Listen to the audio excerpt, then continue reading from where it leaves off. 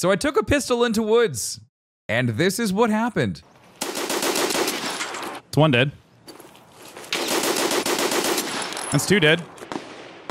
Bro, I lost my fucking arm, but we still in this fight, baby. Oh, I hit him.